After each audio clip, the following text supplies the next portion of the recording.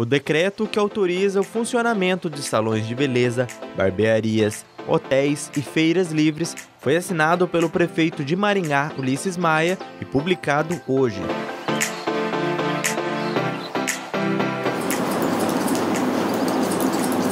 A primeira notícia que veio para a gente aqui da parte de barbearias foi desespero total. A gente não imaginava que ia dar essa repercussão toda, é, ficar todos esses dias parados.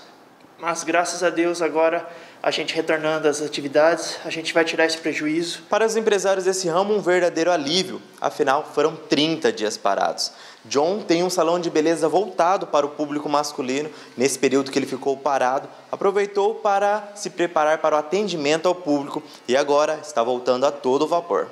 Eu já trabalhava assim, né? Então para mim mudou pouca, pouca coisa.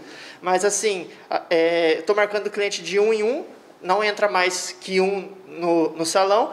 Não porque o espaço também é um pouco pequeno e, digamos assim, é, por precaução, saúde e tal e tudo mais, segurança de todos, a gente vai estar atendendo de um em um. Um alívio também para os clientes que não viam a hora de dar aquele trato no visual. Foi um período bem, bem difícil, né?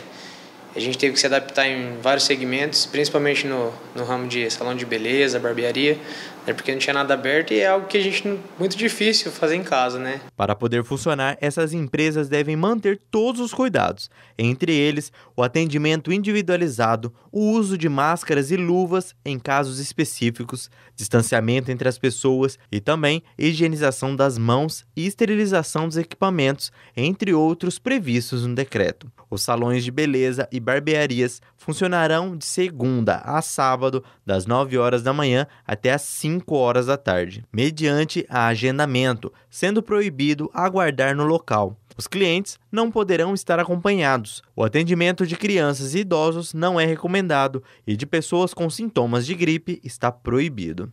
O decreto proíbe que sejam disponibilizados jornais, revistas e similares.